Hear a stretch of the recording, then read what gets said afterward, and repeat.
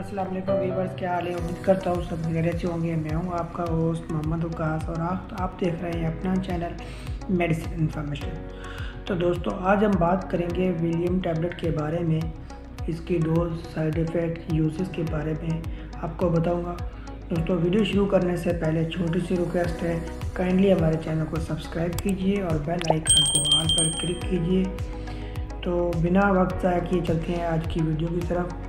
अब हम शुरू करते हैं यानी वैलियम के बारे में। सबसे पहले हम इसकी कंपोजिंग की बात करेंगे तो दोस्तों, इसकी कंपोजिंग डेजी पाम से की जाती है। मार्टिन यू कंपनी का ये प्रोडक्ट है, जो कि मल्टीनेशनल कंपनी है। इसके एक पैक में तीस टैबलेट होती हैं। इसकी कीमत पचहत्तर रुपये है तकरीबन। अब हम बात करेंगे ये टैबलेट किन किन बीमारियों में इस्तेमाल की जाती है। ये किस तरह असर करती है और इसके फ़ायदे नुकसान और इसको इस्तेमाल करने का सही तरीका क्या है?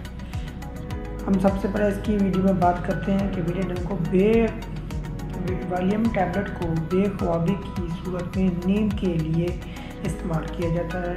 इसके अलावा इसका इस्तेमाल मिर्गी वगैरह के दौरे पड़ने पर भी इस्तेमाल किया जाता है। इसके अलावा जहनी परेशानी यानी डिप्रेशन के अमराज में भी इस्तेमाल किया जाता है। दिमाग के हराम मगज़ के अमराज के इलाज के लिए इस्तेमाल किया जाता है। इसके अलावा कान के अंदरूनी हिस्से की सोजिश के बायस आने वाले चक्रों के इलाज में भी इस्तेमाल की जाती है।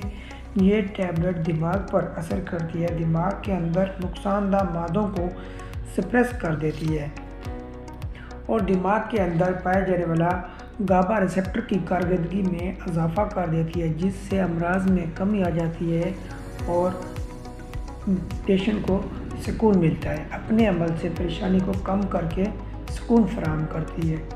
इस टैबलेट से गरूदगी आती है और नींद बेहतर हो जाती है। दिमाग के अंदर अमल करके ये सीजर्स पैदा करने वाले अवामल को कम करके उनको कंट्रोल करने में मदद देती है।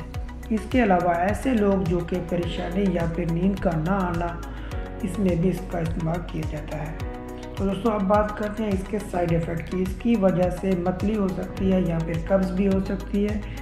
जल्द पर एलर्जी हो सकती है, नींद ज़्यादा आ सकती है, चक्कर आ सकते हैं, बेचैनी हो सकती है और ब्लड प्रेशर कम हो सकता है।